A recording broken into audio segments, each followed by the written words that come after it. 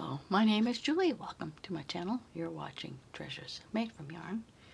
And this wound up ball of yarn is Premier Pixie Dust. So I had gotten this yarn as part of a mystery yarn challenge. So this was some mystery yarn I got from that.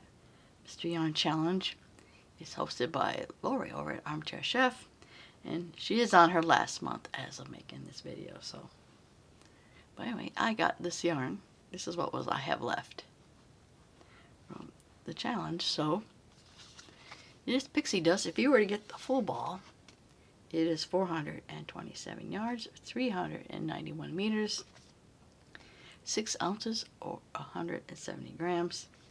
It is 95% polyester and 7.5 5% metallic.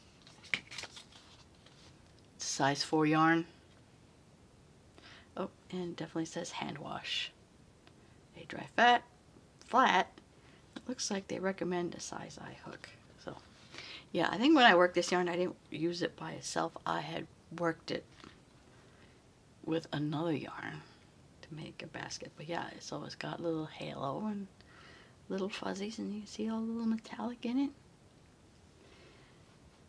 So probably at some point I'm going to try it, use what I got left here on my knitting machine. It might work out very well.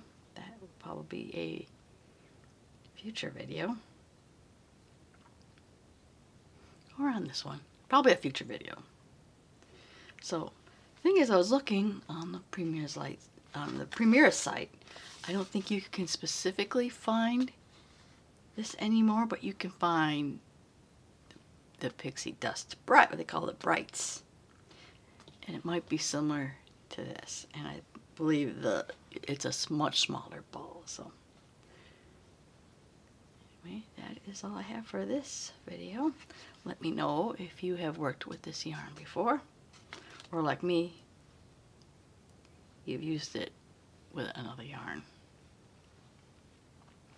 So, if you did like this video, please get a like see more content like this, please subscribe to my channel. I want to thank you for watching, and I will see you in my next video. Bye now.